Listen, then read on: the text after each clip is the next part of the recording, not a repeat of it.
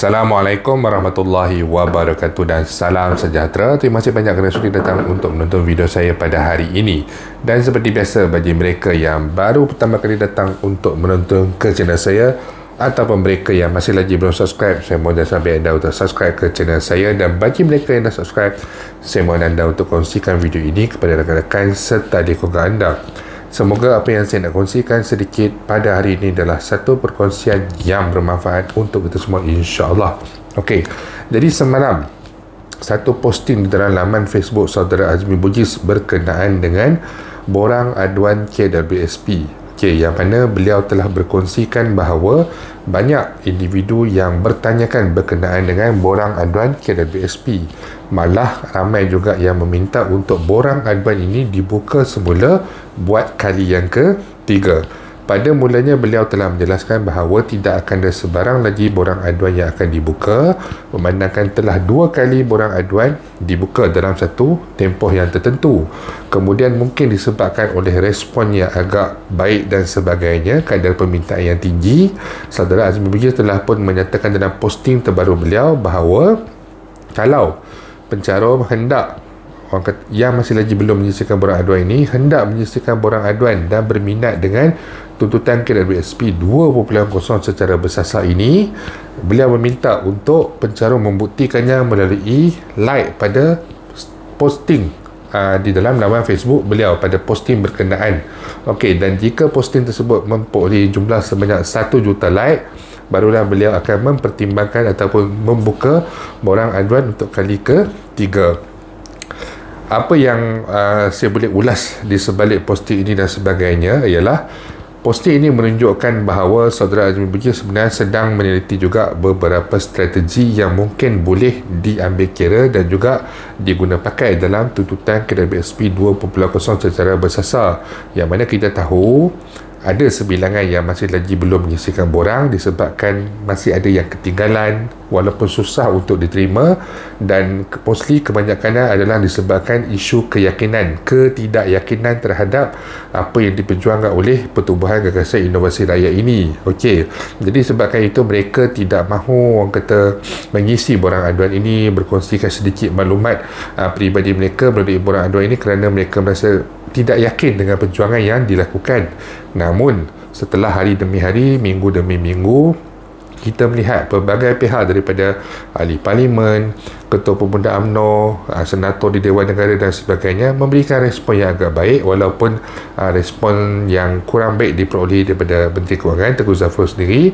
Tetapi ramai yang mula membuka mata dan juga uh, yakin bahawa perjuangan ini mempunyai asas yang kukuh dan juga mempunyai peluang yang agak cerah untuk dipertimbangkan ataupun untuk diluluskan dan saya sendiri ada memperolehi tak banyak. Saya rasa dalam tiga uh, mesej secara peribadi yang mana mereka ini adalah sebenarnya daripada golongan T20 T20 tetapi yang mana mereka ini terkesan uh, semasa tempoh PKP jadi sekarang ini mereka bekerja tetapi bukan pada kadar pendapatan T20 yang asal. Uh, tiga-tiganya berkatakan bahawa pendapatan mereka adalah pada kadar average kadar purata bagi M40 namun disebabkan orang kata komitmen mereka yang tinggi sebelum ini dan kalau mereka nak melepaskan komitmen mereka melepaskan liability mereka mereka juga perlu mempunyai uh, sejumlah wang sejumlah modal untuk uh, selesaikan perkara tersebut di bank kerana apabila kita menjual sesuatu sebagai contoh kenderaan.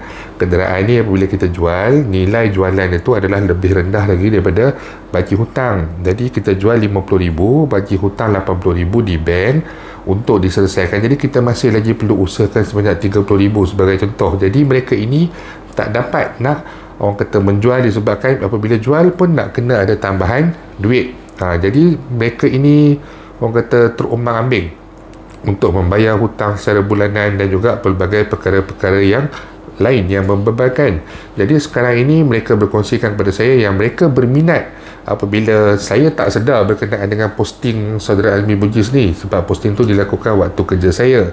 Tapi mereka inilah yang bertanyakan kepada saya dan juga uh, memaklumkan kepada saya bahawa ada kepada kalian borang aduan ni akan dibuka dan mereka mula menceritakan berkenaan dengan apa yang mereka alami. Jadi dari segi satu sudut yang positif kalaulah PJR uh, setuju untuk membuka borang aduan yang ketiga. Saya percaya jumlah aduan sebanyak 229,000 itu mungkin akan bertambah. Mungkin kita boleh mencecah angka 300,000 ataupun angka 400,000 yang mana pertambahan daripada segi angka ini adalah satu yang baik untuk kita persembahkan kepada pihak kerajaan. Yang mana sebelum ini uh, jika kita lihat Dr. Ashraf ni mengatakan bahawa kaedah yang digunakan oleh PGR ni adalah satu kaedah yang sangat baik tersusun dan beliau puji dengan apa yang dilakukan oleh PGR ini mengumpulkan data dan sebagainya respon daripada yang berhormat Lembah Pantai juga mengatakan bahawa perkara yang sama. Beliau memuji kaedah dan juga idea yang digunakan untuk mengumpulkan borang aduan ini. Jadi jika kita dapat mengumpulkan jumlah yang lebih besar ini sedikit sebanyak mungkin memberikan tekanan ataupun memberikan orang kata membuka mata pihak kerajaan untuk sebenarnya jumlah yang membuat aduan ni ramai ha. baru mereka macam semakin membuka mata semakin membuka mata dengan pelbagai perkongsian berkenaan dengan masalah yang dihadapi oleh pencarung-pencarung ini dalam keadaan yang semasa Pe, apa pertambahan pula orang kata apa jika dibuka semula borang aduan untuk kali ketiga ini pada hemah saya ianya tidaklah akan mengganggu uh, perjuangan asal dan juga saya rasa dia tidak akan menyebabkan sebarang delay kepada tuntutan untuk pengurangan kedai BSP seperti kita maklum. Bajet di dalam uh, tinggal hanya dalam seminggu saja lagi untuk dibentangkan dan PJI juga sedang berusaha untuk berjumpa dengan yang berhormat yang berhormat yang lain. Jadi kalau kata dibuka untuk satu tempoh selama dua minggu sebagai contoh apabila dua minggu tu contohlah sampai 15 hari bulan 10 kemudian diproses dan sebagainya mungkin pada 20 hari bulan Oktober ataupun 25 hari bulan Oktober PGIR akan mempunyai satu jumlah uh, data borang aduan yang baru macam saya katakan tadi daripada 229,000 menjadi 300,000 ataupun menjadi 400,000 dan kita boleh kemas kini perkara ini kepada yang berhormat ataupun apa-apa saja yang telah terlibat untuk menyuarakan berkenaan dengan perjuangan ini sebelum ini seperti Dr. Ashraf ataupun yang berhormat Lembah Pantai kita boleh beritahu mereka sebelum ini kita ada 229 sekarang kita dah ada 400 ribu sebagai contoh yang mana mereka ini telah berkongsikan berkenaan dengan permasalahan yang mereka hadapi. Jadi saya yakin jika borang aduan ini dibuka buat kali ketiga ianya walaupun sedikit menyusahkan AJK PGR itu sendiri saya pernah terlibat sedikit uh, sebelum ini ianya memang menyusahkan dan juga uh, memerlukan kos yang besar untuk penyediaan borang dan sebagainya. Tetapi sedikit sebanyak saya rasa ianya dapat membantu untuk melancarkan tuntutan pengeluaran BSP 2.0 secara bersasar ini. Jadi untuk anda di luar sana teruskan berkongsi posting saudara Azim Bujis ini kepada rakan-rakan anda kepada sesiapa saja di luar sana. Semoga satu jumlah yang agak baik mungkin satu juta tu agak mustahil tetapi mungkin satu jumlah yang agak baik satu ratus ribu, dua ratus ribu like sebagai contoh yang boleh membuka hati Presiden Pertubuhan Gagasan Inovasi Raya ini untuk membuka semula borang aduan bagi kali ke tiga. Jadi itu saja yang saya nak kongsikan sedikit pada hari ini. InsyaAllah jika ada sebarang perkembangan terbaru, saya akan berkongsikan kepada anda semua kelak. Bagi mereka yang mempunyai sebarang persoalan, sebarang masalah ataupun sebarang komen, anda boleh utarakan di ruangan YouTube ataupun di ruangan Facebook saya. Video Selamat Channel. InsyaAllah kita akan jumpa lagi. Jangan lupa untuk share, jangan lupa untuk subscribe. Assalamualaikum warahmatullahi wabarakatuh.